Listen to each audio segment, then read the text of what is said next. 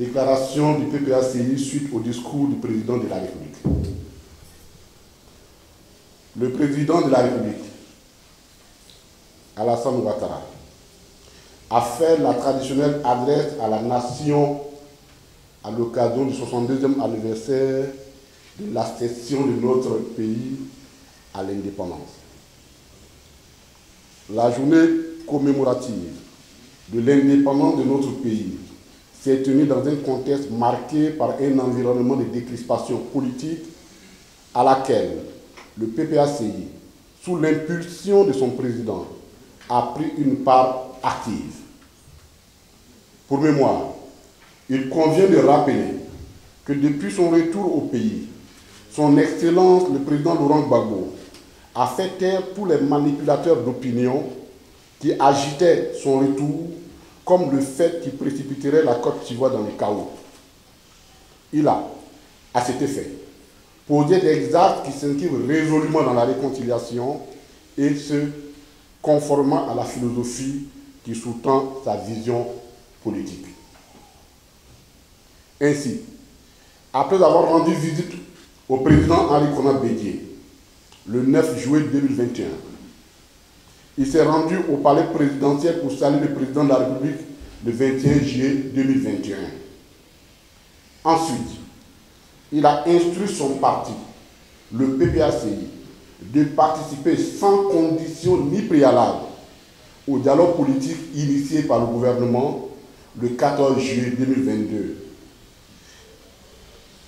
Euh, pas le gouvernement. Le 14 juillet 2002, 2022, le 14 juillet 2022, il a participé à la rencontre organisée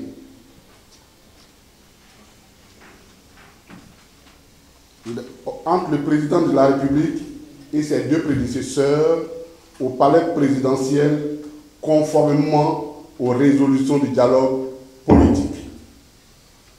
À chacune de ces occasions, le président Laurent Gbagbo a toujours insisté sur la nécessité de libérer les prisonniers civils et militaires. Pour ces derniers, je parle des prisonniers civils des prisonniers militaires, il relève avec pertinence qu'en tant que chef suprême des armées, son acquittement à la CPI démontre à suffisance que les officiers n'avaient pas exécuté d'ordre illégal au moment où il dirigeait la Côte d'Ivoire. Le contexte de décrispation ainsi créé autorisait nos compatriotes à espérer la prise de décisions fortes par le chef de l'État pour impulser la dynamique de la réconciliation telle que recommandée par la cinquième phase du dialogue politique tenue du 21 décembre 2021 au 4 mars 2022 à la primature. En effet, cette phase du dialogue politique avait recommandé, parmi les mesures d'apaisement, la prise d'une loi d'amnistie pour régler les problèmes liés aux situations suivantes. 1. La condamnation du président Laurent Gbagbo de surcroît à son absence, suite à des poursuites n'ayant pas tenu compte de son statut d'ancien président de la République, conformément à la loi que lui-même a fait prendre en 2005.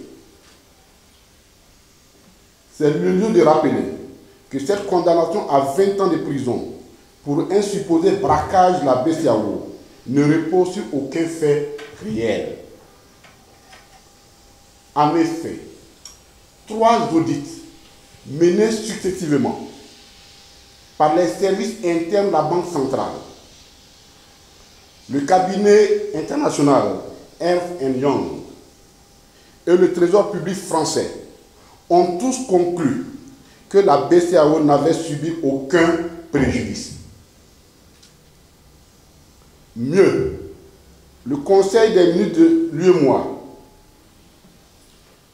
qui s'est réuni pour euh, certifier les comptes d'exploitation de la BCAO, les comptes de de la BCAO en 2000, 2011, donc en 2012, n'a relevé aucun préjudice, aucun cas de vol. La BCAO, pour sa part, n'a jamais porté plainte pour braquage et ne s'est pas constitué partie civile dans le procès qui a conduit à la condamnation du président Laurent Gbagbo.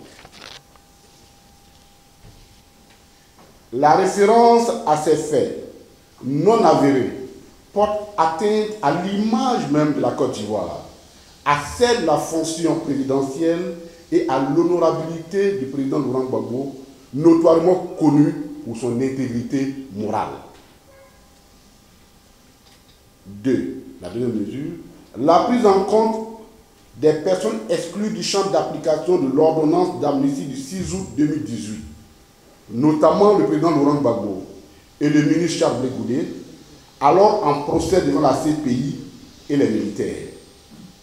L'exclusion du président Laurent Gbagbo et du ministre Charles Blé du bénéfice de l'ordonnance d'amnistie du 6 août 2018 était, au terme de la dite ordonnance, lié aux poursuites dont il, dont il était objet devant la CPI. Ces poursuites ayant cessé, suite à leur acquittement, ils devraient tomber automatiquement dans le champ d'application de cette loi d'amnistie. Pour toutes ces raisons, le dialogue politique a préféré l'option de l'amnistie qui a vocation à effacer les faits plutôt que la grâce qui laisse subsister ceci. En cela, l'annonce du 6 août 2022 de la grâce présidentielle accordée au président Laurent Gbagbo ne répond pas aux attentes légitimes de nos compatriotes. En effet, si le président Laurent Gbagbo s'est investi autant dans le renforcement de la cohésion nationale, c'est parce qu'il estime qu'il est temps de fermer la parenthèse de la crise post-électorale de 2011 en suivant la voie que la CPI a clairement indiquée au pouvoir ivoirien. Le PPSI se félicite la libération du compte amiral Vagba Fossigno et du commandant Jean-Noël Jean du dégel des avoirs du président Laurent Gbagbo et du rappel de sa rente. Cependant, le PPACI demande l'application des recommandations du dialogue politique, notamment la libération de tous les prisonniers civils et militaires, l'arrêt des poursuites contre les responsables politiques de l'opposition, la loi, la prise d'une loi d'amnistie en lieu et place de la grâce présidentielle, le retour sécurisé des exilés, de ceux qui restent encore en exil, la réforme de la CEI, ainsi que tous les cadres légaux et institutionnels des élections. Encourage le président de la République à œuvrer pour une paix durable en fermant définitivement les séquelles de la crise post-électorale de 2011 afin de projeter la nation dans une nouvelle dynamique de cohésion sociale. Se dispose à toujours agir pour la recherche d'une réconciliation vraie et sincère sans calcul politicien. Fait à Abidjan, le ministre Koné Katinan, porte-parole du PPACI. Je vous remercie.